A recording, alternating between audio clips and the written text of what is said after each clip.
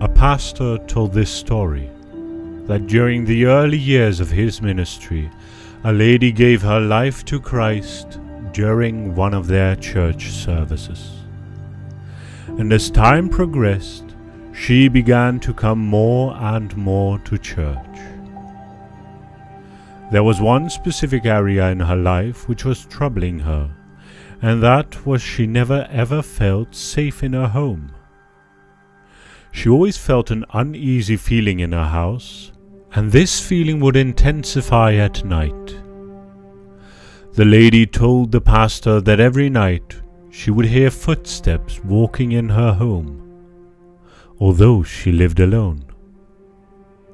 At points, she even went out of her bedroom and searched her house, looking for the source of the noise, but every time she went looking for the noise, it would stop and start in another room. And she would go to that room, and it would stop and start in another room. The lady spoke about how she would wake up in the middle of the night and would see a black figure standing in her bedroom. Just as clear as day, she would see this figure time and time again in her room. And this happened to this lady even before she gave her life to Christ, and it continued after she gave her life to Christ. She prayed and prayed and cried and prayed. But night after night she heard footsteps in her home and kept seeing this figure. She even moved houses, thinking that was the solution, but her first night in the new home she heard the footsteps again. And that black figure appeared and disappeared in her room again. She sought counseling about this issue, because to her it had got to the point where she was scared to be in her own home. During a counseling session, the pastor was praying for her, and the Lord revealed to him what the source of her trouble was. She had an occult book that had a little statue of an idol on it in her home that she wasn't even aware of. The pastor instructed her to go home and remove that book from her house, and she did just that. And that night at two o'clock in the morning, she literally heard a stampede in her house as if the evil spirits were running, leaving her home. After this, she never had any other issues in her home. Her home was a home of peace and security. You might say the devil had no right to be in her home. She was Christian. But she had brought something into her home that opened the door for the devil and his demons to operate in her house. She did all of this unknowingly.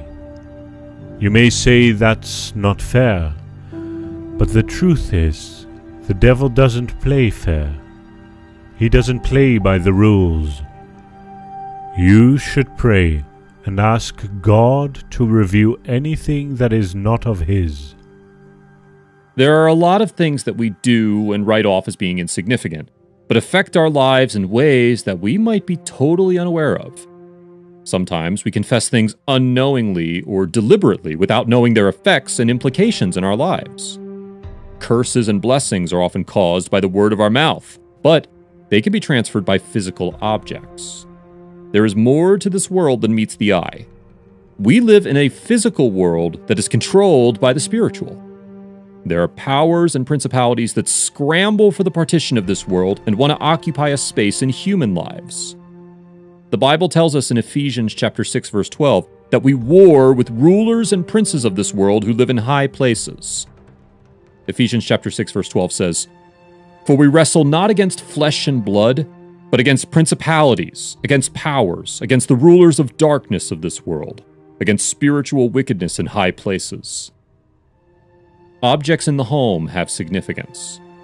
Objects in the home have symbolic significance and representations that transcend aesthetics and beauty purposes. Objects that we bring in our homes might have curves and attract spirits. Sometimes all the devil needs to pitch his tent in our home is one image or one item that represents his identity. As long as this object remains in the four walls of our home, he won't stop coming to identify with what is his. This is the reason we have to make the Holy Spirit the head of our home. The Spirit of God is profitable for everything that concerns our life and living. He will lead us and guide us on what is God's and what represents the devil. For instance, the dragon represents the devil. Keeping engraved images of such an animal in our home or wearing them around our neck isn't appropriate for us as children of God. There are so many Satan inspired fashion inspirations and trends that we have embraced and emulated as children of God these days. Sadly, not every fashion trend is meant for believers. Being fashionable is great, a good dress sense is admirable, but not all fashion trends are for Christians. They might not necessarily be harmful, but Apostle Paul said in 1 Corinthians that all things are lawful but not expedient. Because it is permissible does not make it totally unharmful. 1 Corinthians chapter 6 verse 12 says, "All things are lawful for me, but all things are not helpful. All things are lawful for me, but I will not be brought under the power of any. Different images that are known to belong to different occult groups aren't supposed to be found in the home of believers. Apart from the fact that it doesn't symbolize the glory of God or betray the faith we confess, it might also bring in things that we don't desire into our homes. They might not have apparent adverse effects, but they affect our daily living and interactions with others. Take heed of the warning given to God's chosen people in Deuteronomy chapter 7, verses 25 through 26, which says, You shall burn the carved images of their gods with fire. You shall not covet the silver or gold that is on them, nor take it for yourselves, lest you be snared by it. For it is an abomination to the Lord your God. Nor shall you bring an abomination into your house, lest you be doomed to destruction like it. You shall utterly detest it and utterly abhor it for it is an accursed thing. The dark energy the devil casts is creepy and subtle. He makes attempts to target and weaken our defenses, puts us in a vulnerable place before he attacks. We need to fire ourselves up and take away whatever attracts him in our home and life. Whether or not we know if we have the devil's possession in our home, here's what we should do spiritual tips on how to cleanse a house. We love to give our physical space a facelift from time to time, whether it is surface cleaning, deep cleaning, or just routine cleaning that keeps our environment in a pristine condition. We like to have a clean environment. But do we ever worry about spiritual cleansing, decluttering our space, and removing all the veils of darkness and the devil? The Bible tells us that where there is no knowledge, the people will perish. If we don't get to the root of whatever we might be passing through, then we are bound to continue to languish and wallow in it and suffer in ignorance. To enjoy a breath of spiritual freedom in God's presence, here are helpful tips. Allow the Spirit of God in your home. The Spirit of God is the Spirit of truth and God's presence. He can't share the same space with darkness. Darkness vanishes at the glimpse of light. Once we allow the Spirit of truth to rule and reign in our home, we will enjoy peace and tranquility. Even if there is anything we bring in that oozes negativity and suppresses the light, God's Spirit will expose it and it will be taken away completely. Put on wholesome and spirit filled songs. Music is therapeutic and has immense healing powers. Spirit filled songs invoke the Spirit of God and chase every spirit contrary to His. When King Saul was tormented by unclean spirits, David would play instruments and songs, and the spirits would depart from him. We can play songs that set our home ablaze with the fire of God and make it an unfit abode for any dark spirit or agent of the devil. We must be careful to not play music that would allow the devil to enter our home. Do not just sing songs absent mindedly. Think about the words. What are they really saying? Words have power. Do not unknowingly speak darkness into your home. This also goes for TV programs and movies. Declutter. Just as we like to declutter our space and bring out items and materials that are no longer of use to us, we should also declutter our spiritual space. We should go from room to room, taking out everything that might be mirroring the devil to us. We should take them and burn them to ashes. After this, we can pray strategically and dedicate the four walls of our home to God. Anoint your home. Ask for God's angels to stand guard around your house, at every window and every door. Psalm 91, verse 11 says, For he shall give his angels charge over you, to keep you in all your ways. We must heed the words of Joshua in Joshua chapter 24, verse 19, where he says, But Joshua said to the people, You cannot serve the Lord, for he is a holy God. He is a jealous God. He will not forgive your transgressions nor your sins. Like him, you must declare that in your household you will only serve the Lord and obey his voice. Live a holy life. Nothing beats living a holy life. Sometimes the object of attraction that the devil sees in our home is our heart. He sees the void in our heart, decides to occupy it, and begin to reign supreme. A life of holiness makes us live above the ploys or gimmicks of the devil. 2 Corinthians chapter 7 verse 1 says, "Therefore, having these promises, beloved, let us clean ourselves from all filthiness of the flesh and spirit, perfecting holiness in the fear of God." And James chapter 4 verses 7 through 8 says, Therefore submit to God. Resist the devil and he will flee from you. Draw near to God and he will draw near to you. Cleanse your hands, you sinners, and purify your hearts, you double minded.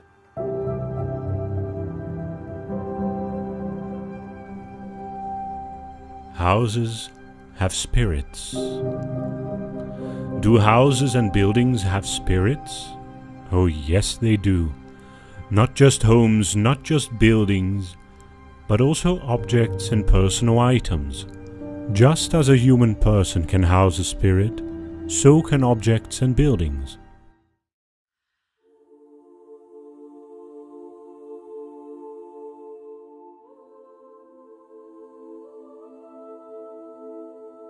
As Christians, we can be sure of the existence of Satan and demons because the Bible plainly depicts them as fallen angels who work in the world to oppose God and His people and deceive and blind unbelievers to the truth of the gospel. In essence, demons can be described as persons without bodies. They exhibit characteristics of a person. A perfect example of this is seen in Luke 11, verse 24 to 26. Jesus is speaking on the topic of unclean spirits here, and he states, When an unclean spirit goes out of a man, he goes through dry places, seeking rest, and finding none. He says, I will return to my house from which I came and when he comes, he finds it swept and put in order. Then he goes and takes with him seven other spirits more wicked than himself, and they enter and dwell there. And the last state of that man is worse than the first. I want you to notice of something in the passage of Scripture that we just read. The unclean spirit that is being spoken of here is depicted to have a personality. Notice what the Spirit said I will return to my house from which I came. That is evidence of a personality making its own decisions. It is very important that you understand that you are dealing with a person. Early on in my ministry, a man came to me for deliverance. He was very young in the faith and told me about his experience with stealing. He had given his life to Christ now, but he had lived a significant portion of his life as a criminal, and since he came to Christ, he gave up partying no problem. He used to live for every party, but he gave that up. He gave up drinking and smoking no problem. But what he couldn't give up was stealing. He would tell me that he would not be able to resist the urge to steal. Any time an opportunity presented itself to steal, he would steal, and he wouldn't want to do it, but he would find himself having an internal dialogue with himself, and he would end up stealing. And he kept on blaming himself about this, and he prayed, and he fasted, he read the scriptures, he quote unquote tried to crucify the flesh, and the more he prayed and he fasted, the more opportunities to steal that came, and the more he stole.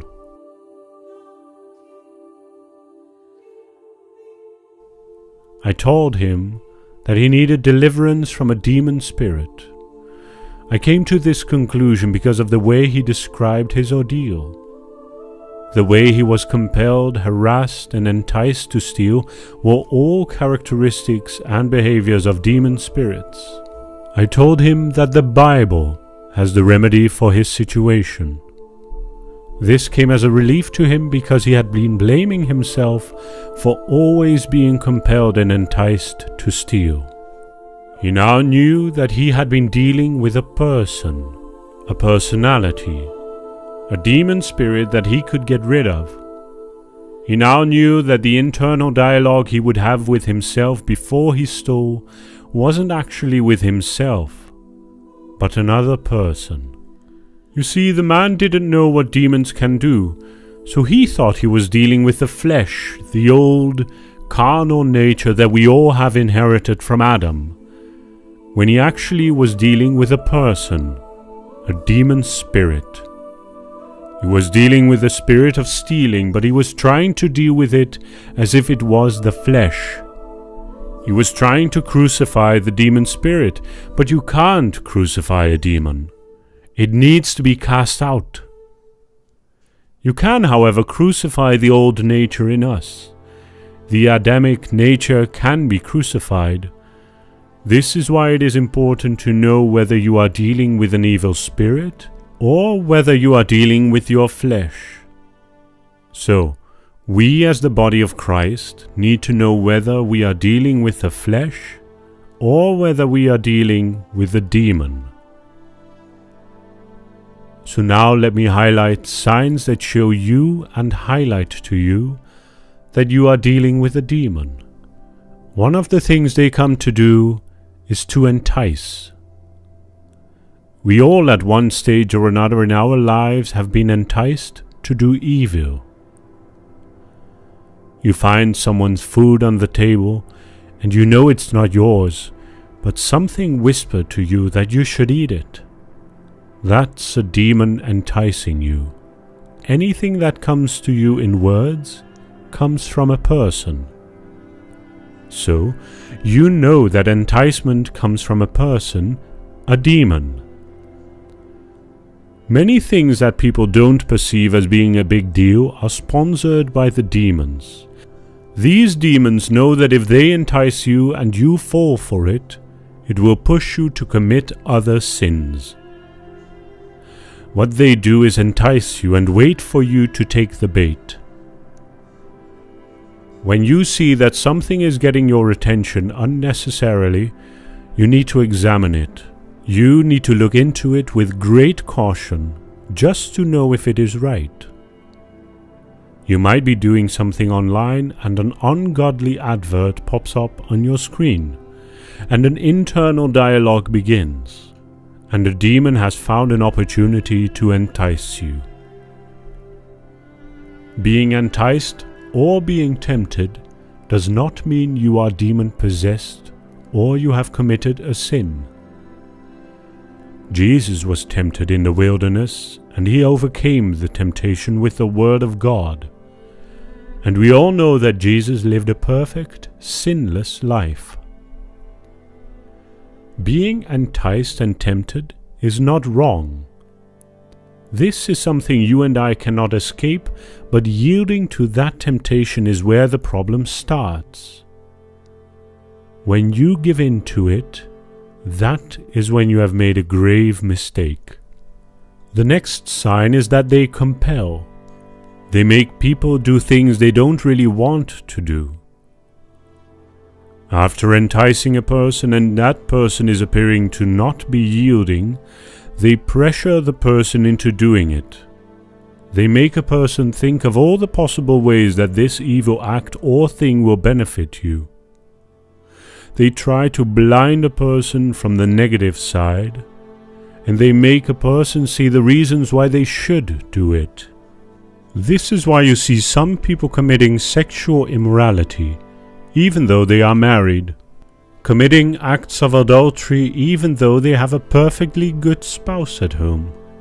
They are blinded to all the negative effects of sexual immorality, the devastation effects on the family, the broken covenant with God, the broken trust, the destruction of a marriage. They are blind by the evil spirit and they are only compelled to focus on the immediate satisfaction.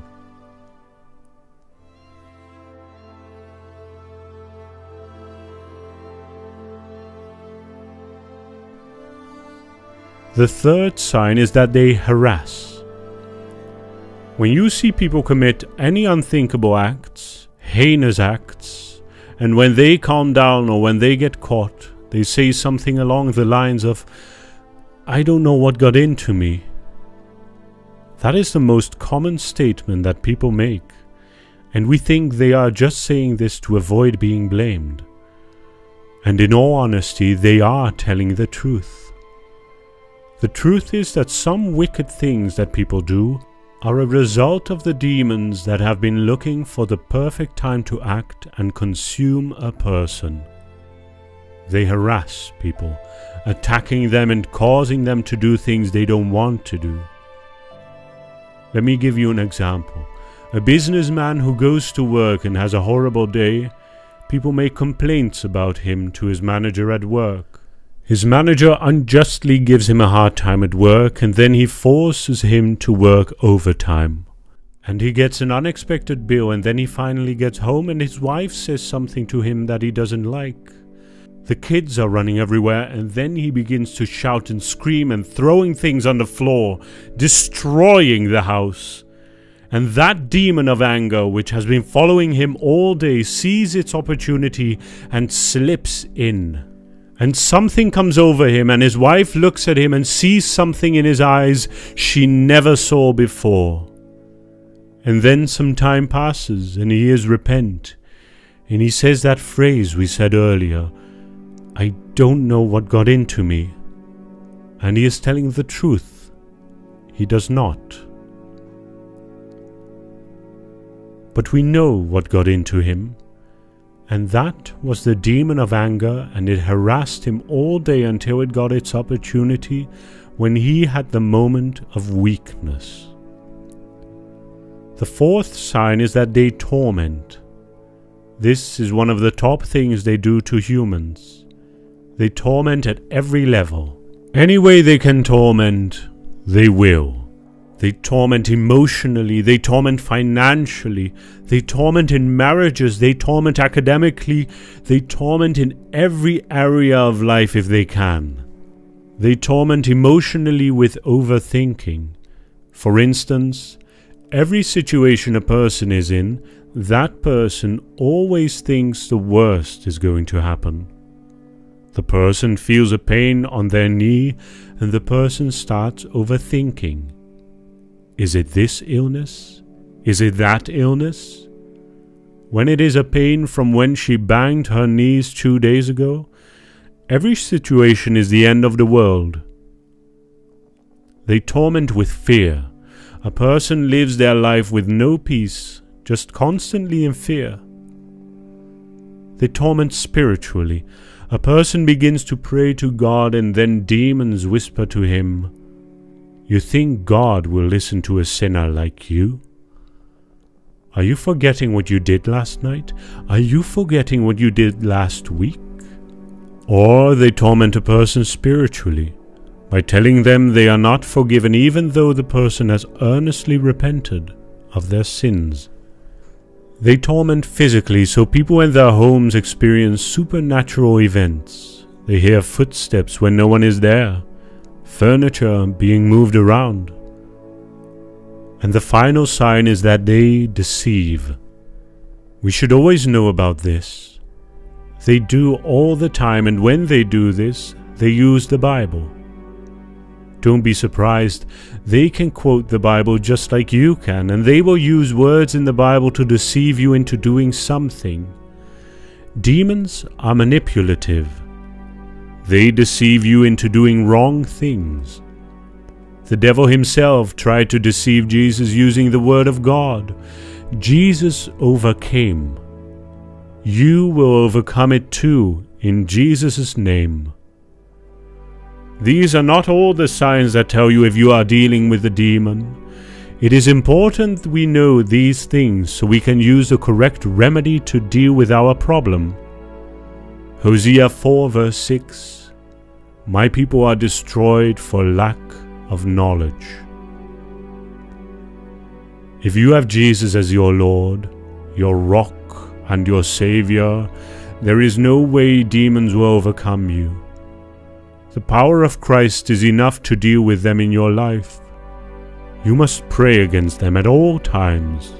Don't wait until you start seeing some kind of image walking in your house before you feel there is a demon around you.